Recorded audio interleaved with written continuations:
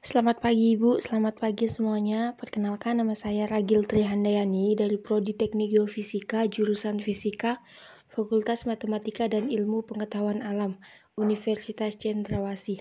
Di sini saya akan menjelaskan tentang mesin Carnot. Jadi mesin Carnot adalah mesin kalor hipotesis yang beroperasi dalam suatu siklus reversibel yang disebut siklus Carnot. Nah, di PPT tersebut kita bisa melihat contoh gambar mesin Carnot. Jadi model dasar mesin ini dirancang oleh Nicolas Leonard Sadi Carnot, seorang insinyur militer Prancis pada tahun 1824 dan dikembangkan oleh Emile Clapeyron pada tahun 1834 dan diuraikan secara matematis oleh Rudolf Clausius pada ta pada tahun 1850-an dan 1860-an. Kemudian ada diagram modern. Diagram mesin Carnot atau modern, kalor mengalir dari reservoir bersuhu tinggi TH melalui fluida kerja menuju reservoir dingin TC dan menyebabkan fluida kerja memberikan usaha mekanis kepada lingkungan melalui siklus penyusutan atau kontraksi dan pemuaian atau ekspansi. Kiha disuplai oleh pendidih di mana air dididihkan pada sebuah tungku. Kice biasanya adalah aliran air dingin dalam bentuk embun yang terletak di berbagai bagian mesin. Carnot sendiri mendefinisikan usaha sebagai berat yang diangkat melalui sebuah ketinggian. Kemudian ada teorema Carnot. Teorema Carnot menyatakan formal dari fakta bahwa tidak mungkin ada mesin yang beroperasi di antara dua reservoir panas yang lebih efisien daripada sebuah mesin Carnot yang beroperasi pada dua reservoir yang sama. Artinya, efisiensi maksimum yang dimungkinkan untuk sebuah mesin yang menggunakan temperatur tertentu diberikan oleh efisiensi mesin jadi persamaan di atas hanya memberikan efisiensi dari sebuah mesin kalor reversibel. Proses reversibel didefinisikan sebagai sebuah proses yang dapat dibalik tanpa meninggalkan jejak pada lingkungan, sedangkan proses irreversibel adalah kebalikan dari proses reversibel. Kemudian ada siklus Carnot. Jadi siklus Carnot merupakan sebuah siklus reversibel yang pertama kali dikemukakan oleh Sadi Carnot pada tahun 1824 oleh seorang insinyur Prancis. Siklus Carnot adalah proses termodinamik yang dialami oleh zat kerja atau working substance pada mesin Carnot. Siklus ini terdiri atas dua proses isotermal dan dua proses adiabatik.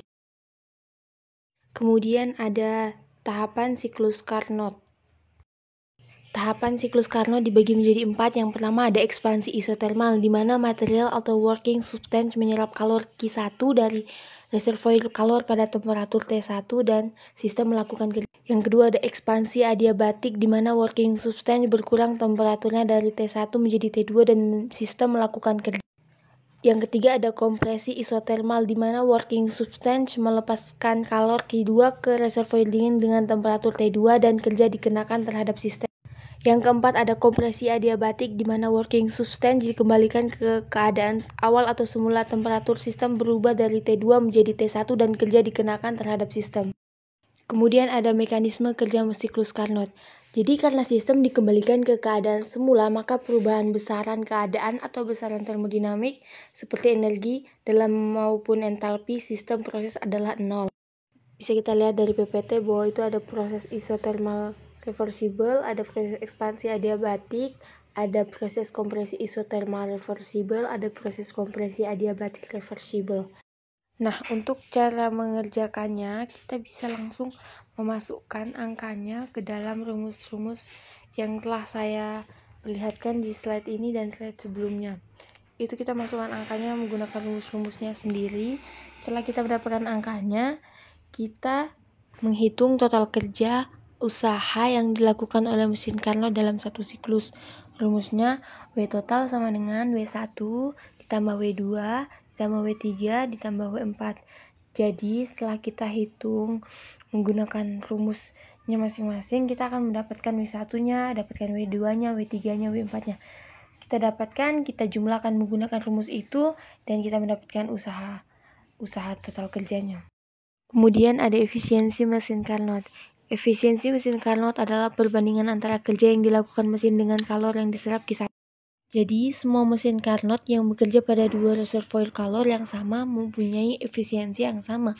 Efisiensi mesin kalor tidak bergantung pada jenis material atau working substance yang digunakan.